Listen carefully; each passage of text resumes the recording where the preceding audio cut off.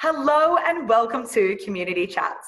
In this series, we will be hearing from 14 different AWS leaders, each one discussing a different leadership principle.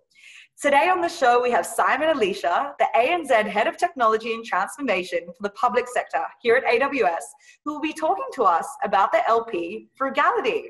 So, Simon, thank you so much for joining us on the show today. Thanks for having me. Glad to be here. So, Simon, frugality commonly means having limited resources. But what does it mean here at AWS? Really, it's about doing more with less in a sensible way. And it's about thinking about where you invest not just money, but time, and to get the most out of it.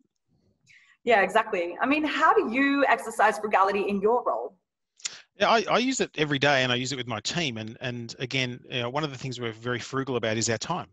Uh, everyone has the same amount of time during the day and is, has a limited amount of capacity of things they can do.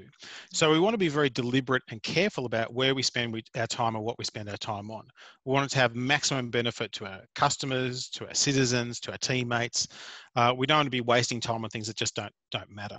The LPs definitely exist to guide us and how we work with our customers, but how does that frugality principle actually apply to our customers? What it is is twofold. So, firstly, we don't spend money on things that aren't that important for customers. The, the other side of frugality that, that our customers like to apply is instead of doing a big bang project that costs millions of dollars, we suggest they do a small project that costs tens of thousands of dollars that they can then grow upon later on because they're using the same basis for everything that they're doing. Mm. And, and the reason why that's important is if I give you a problem to solve and I give you a million dollars to solve it, you'll solve it in a very different way than if I give you $10,000. And so that constraint actually creates innovation. So, can you tell me more about how you promote innovation and growth but still remain frugal? Yeah, so so frugality again is about thinking about where you spend. So, for example, we run a hackathon every year for our technology team across the board. We spend a couple of days together and we build things.